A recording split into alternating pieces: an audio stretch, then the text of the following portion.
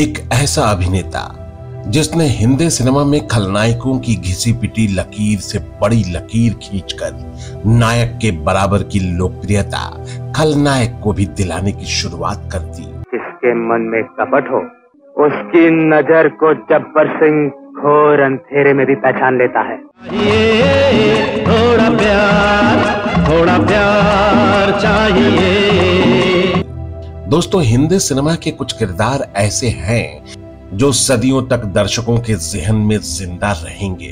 रिश्ते में तो हम तुम्हारे बाप होते हैं। जहाँ एक तरफ़ फ़िल्म शोले में अमजद खान के द्वारा निभाया गया गब्बर सिंह का किरदार यादगार है। ये हाथ हमको दे ठाकुर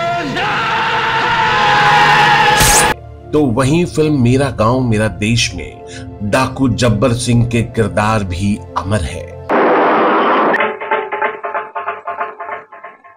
जिसे सदियों तक भुलाया नहीं जा सकता है इस अभिनेता के चलते, क्योंकि इस अभिनेता ने इस किरदार को यादगार बना दिया।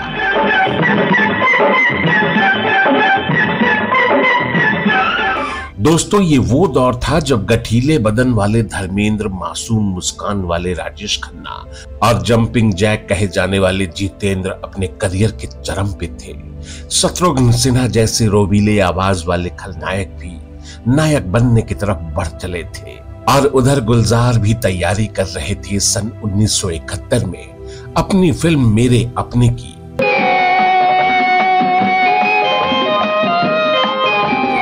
जिसमें गुलजार साहब ने दो खलनायकों को एक साथ पर्दे पर उतारकर एक प्रयोग किया, जो अत्यंत सफल रहा।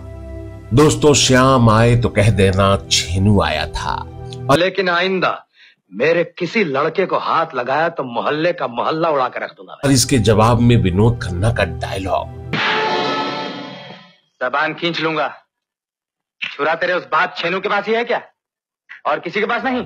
और इसी फ़िल्म में विनोद खन्ना पर फिल्माया ये गाना ने इस फ़िल्म के साथ विनोद खन्ना को भी चमका दिया।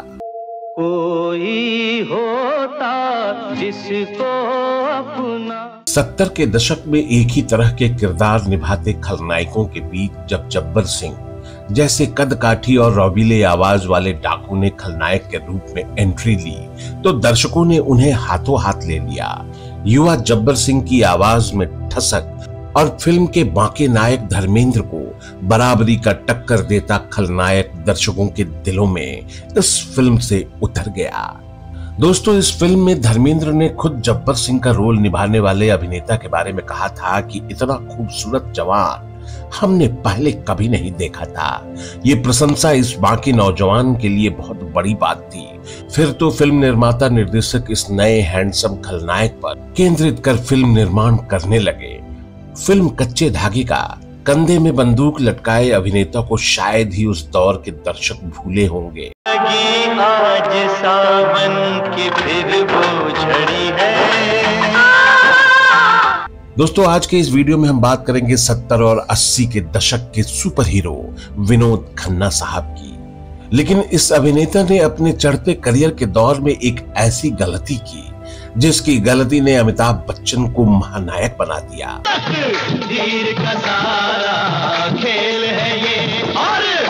कंटेंडर टू अमिताभ बच्चन और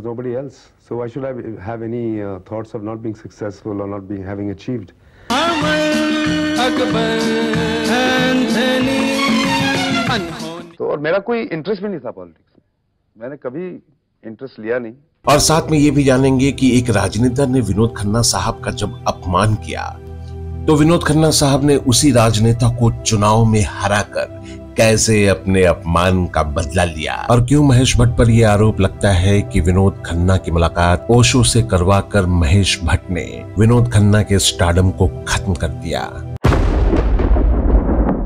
कहने के लिए क्रांतिकारी था साला। शब्दों का व्यापारी था। But you are never here और इस वीडियो में ये भी जानेंगे दोस्तों कि जब महेश भट्ट ओशो के आश्रम से लौटे तो उन्होंने अपना ये अनुभव साझा किया। मगर एक गहरा एहसास है कि इतना कुछ समझने के बाद कुछ समझा नहीं हमने। तो बने रहिए हमारे साथ आज के इस दिलचस्प वीडियो में। नमस्कार दोस्तों मैं हूँ विजय पांडे और आप देख रहे हैं golden moments with Vijay Pandey. Video में आगे बढ़ने से पहले आप हमारा चैनल सब्सक्राइब करना ना भूलें।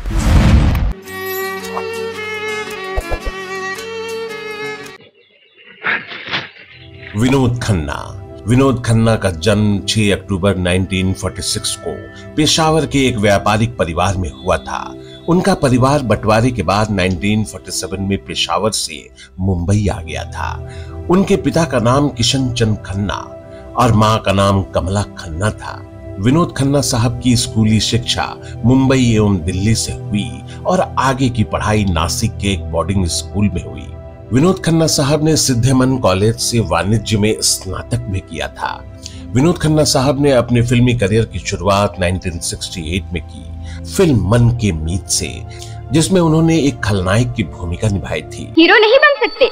हाँ विलन बनने की कोशिश करना। हाँ? वो तो आने वाला वक्त ही बताएगा। तब शायद खुद विनोद खन्ना साहब को भी ये पता नहीं होगा कि खलनायक के किरदार से शुरू हुआ उनका ये फिल्मी सफ़र उनके खूबसूरत पर्सनालिटी की वजह से नायक में तब्दील हो जाएगा। छेड़ मेरे हमराही गीत कोई ऐसा। और इसी क्रम में उन्होंने फ़िल्म आन मिलो सजना अनोखी अदा कुर्बानी हेरा फेरी अमर अकबर एंथनी सप्तमी जयते दयावान कच्चे धागे और चांदनी जैसी न जाने कितनी सफल फ़िल्मों में काम कर उन्होंने अपने अभिनय का लोहा मनवाया। जब कोई बात बिगड़ जाए जब कोई मुश्किल दोस्तों विनोद खन्ना पर फिल्माया ये गाना थके हारे मन में उत्साह और उमंग भर देता है। तुम देना साथ मेरा। और शायद यही उनकी ज़िंदगी का भी फलसफा था। मरने वाला कोई ज़िंदगी चाहता। तभी तो वह कभी रुके नहीं। रुक जाना नहीं तू कहीं हार के। उनके सबसे प्रिय साथी और फिल्मकार फिरोज खान हमेशा कहते थे कि मुझे अपनी हर फ़िल्म में विनोद ही चाहिए। फिरोज खान की नज़रों में विनोद खन्ना साहब एक प्यारे इंसान होने के साथ साथ एक बहुत ही अनुशासित अभिनेता भी थे। दोस्तों 80 के दशक की शुरुआत थी। राजेश खन्ना का दौर जा चुका था। धर्मेंद्र उम्र के ढलान पर थे और वहीं जितेंद्र पारिवारिक फ़िल्मों के दायरे के भीतर सिमट रहे थे। और उसी दौर में दूसरी तरफ़ विनोद खन्ना साहब नए स्टारडम की तरफ़ बढ़ चुके थे, जो गाहे बगाहे अमिताभ बच्चन को टक्कर दे रहे थे। हम प्रेमी प्रेम करना जाने। Only contender to Amitabh Bachchan there was nobody else so why should I have any thoughts of not being successful और not being having achieved I mean the whole entire media was always you know keeping this competition alive फिर भी 80 के दशक की शुरुआत तक विनोद खन्ना की इतनी मांग थी कि उन्हें एक फ़िल्म के सबसे ज़्यादा पैसे मिल रहे थे। और वहीं अमिताभ बच्चन पीछे छूट रहे थे। जब उनका स्टारम चरम पर पहुँच रहा था उसी बीच विनोद खन्ना साहब का झुकाव आध्यात्म की तरफ़ हो गया। There are people who have philosophies of life, but they don't have any life. वह ओशो रजनीश के शिष्य बन गए। उन्होंने फ़िल्में करनी छोड़ दी। और दोस्तों 1982 से 86 के बीच विनोद खन्ना साहब अमेरिका चले गए, ओशो के आश्रम में, जहाँ वो माली का काम करने लगे। दोस्तों, ये वो दौर था जब विनोद खन्ना के अमेरिका चले जाने से उनके लिए लिखे गए सारे रोल फ़िल्मों के अमिताभ बच्चन को मिलने लगे। और दोस्तों, यहीं से अमिताभ बच्चन की किस्मत चमक उठी।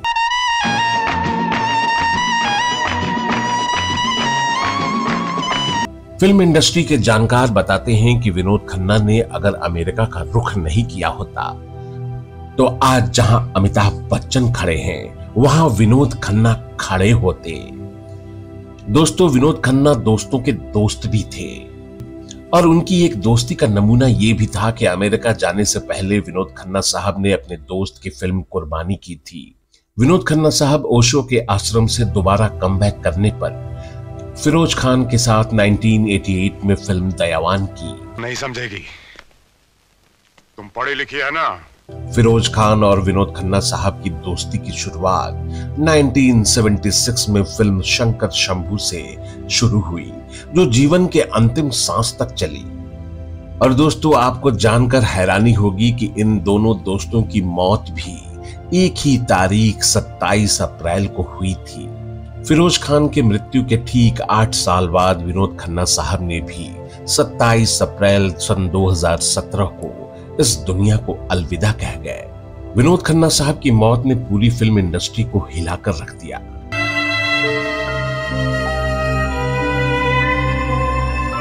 दोस्तों, जब विनोद खन्ना साहब की मौत हुई, तब जाने माने फ़िल्म निर्माता निर्देशक करण जौहर ने अपनी बहुप्रतीक्षित फ़िल्म बाहुबली 2 का प्रीमियर तक स्थगित कर दिया।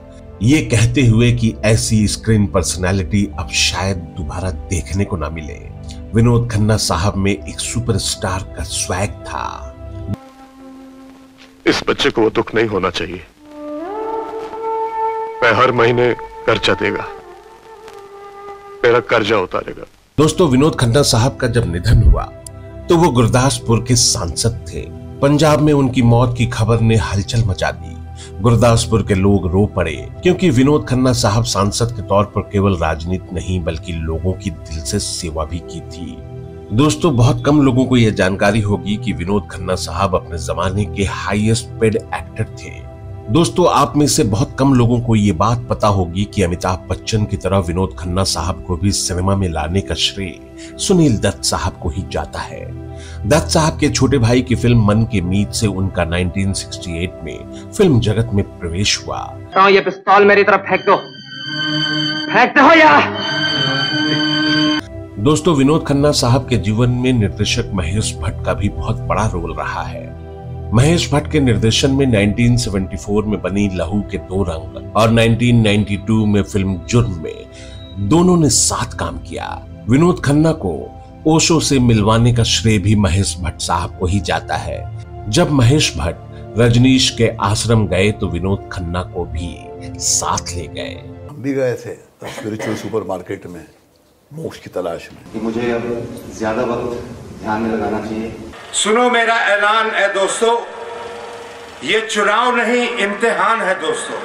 दोस्तों विनोद खन्ना का राजनीति में आना महज एक संयोग नहीं था। मेरे देश की लाखों बीमारियों का कारण दिल्ली में बैठा एक परिवार है दोस्तों।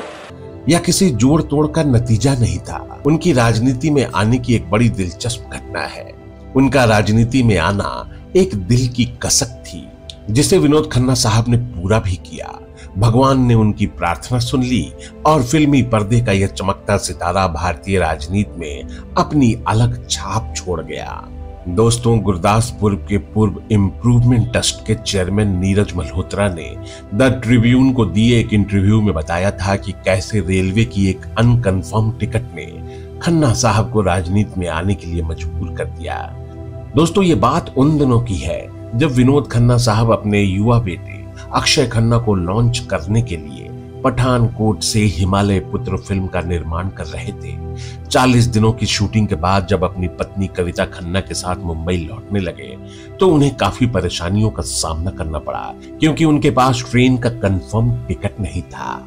दोस्तों, उन दिनों पठानकोट से हवाई सुविधा उपलब्ध नहीं थी। मजबूरन रेल यात्रा ही एक विकल्प था। विनोद खन्ना साहब को एक गुमान था कि वो इतने बड़े फ़िल्म स्टार हैं। चीज़ें खुद ब खुद मैनेज हो जाएँगी, टिकट कंफर्म हो ही जाएगा। पर दोस्तों, ऐसा हो न सका, क्योंकि विधि को कुछ और मंजूर था। दोस्तों, संयोग ऐसा बना कि उसी ट्रेन में कांग्रेस नेता सुखबंश कौर भिंडर जो उस समय केंद्रीय मंत्री थी, वो भी सफ़र कर रही थी। प्रोटोकॉल के मुताबिक रेलवे के कर्मचारियों ने भिंडर मैडम के लिए कूपे का इंतज़ाम कर दिया। विनोद खन्ना साहब ये सारी घटनाएँ देख रहे थे। अपनी यात्रा को सुखद बनाने की मंशा से विनोद खन्ना साहब मैडम के पास गए और उन्होंने उनसे एडजस्ट करने का रिक्वेस्ट किया। पर मैडम ने उन्हें बेरुखी से इनकार कर दिया। इसलिए विनोद खन्ना साहब को लगा कि मेरा अपमान हुआ है। वो स्वयं को बहुत ही अपमानित महसूस करने लगे। साथ ही उन्होंने ये प्रण लिया कि अब वह एक दिन मंत्री तो बनकर रहेंगे। और दोस्तों, बहुत जल्द ही उनके मन की ये कसक रंग लाई। लगभग डेढ़ साल के बाद 1998 में भाजपा ने उन्हें पंजाब से लोकसभा का टिकट ऑफ़र कर दिया। पंजाब प्रेम के मारे विनोद खन्ना साहब ने चुनाव लड़ने की हामी भर दी। मैं कंडीशन रख रही थी पार्टी में। मैं क्या मनो इलेक्शन लड़ाओगे कि मैं सिर्फ़ गुरदासपुर तो लड़ाऊँगा और किसी जगह तो नहीं लड़ा भारतीय जनता पार्टी ने गुरदासपुर लोकसभा सीट से टिकट दे दिया।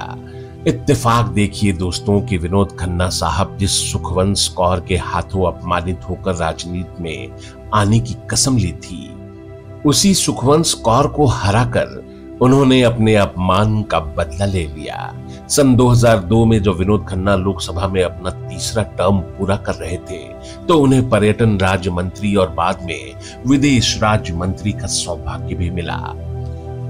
उन्होंने बड़ी ही बेतकल्लुफी से पत्रकारों को बताया कि राजनीति में वो नौसिखिए हैं। इसलिए सारे आम और खास लोगों की सहायता से अपने क्षेत्र गुरदासपुर की बेहतरी करना चाहते हैं। दोस्तों, विनोद खन्ना साहब की यही स्ट्रेट फॉरवर्ड बातें सच में बड़ी अपीलिंग थी।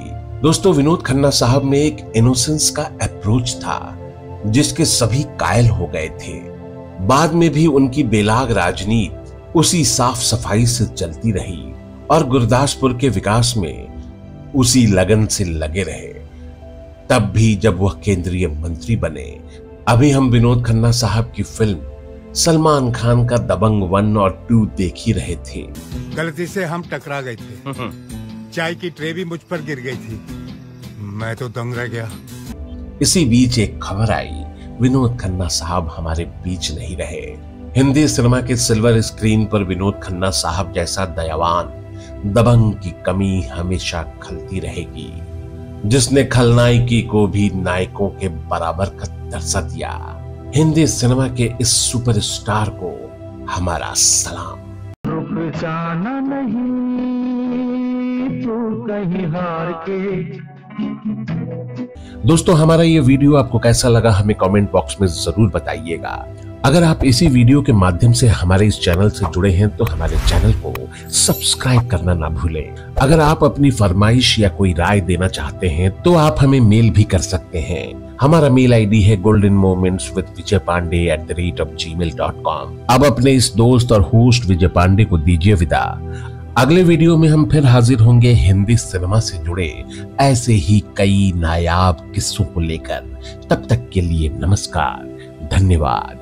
शुक्रिया।